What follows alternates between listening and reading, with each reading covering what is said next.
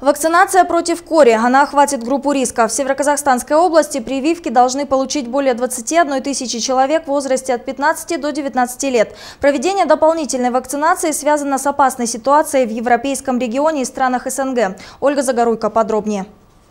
В прошлом году в нашей области 8 человек заболели корью. Это опасное острое инфекционное вирусное заболевание, одно из основных причин смертности детей раннего возраста. Передается воздушно-капельным путем. Для заболевания характерна температура тела выше 40 градусов и сыпь. Регистрируется в основном в зимне-весенний период. Сегодня распространение вируса наблюдается в соседних странах. Это послужило поводом для проведения дополнительной вакцинации в Казахстане. На эти цели выделено 25 тысяч доз вакцины. Прививаться будут в основном выездными прививочными бригадами на местах. У нас так, таких бригад э, в области 91. Вакцинация пройдет с 16 по 28 февраля. Специалисты убеждают, всем североказахстанцам от 15 до 19 лет нужно обязательно получить прививку. Для этой категории населения она будет бесплатной.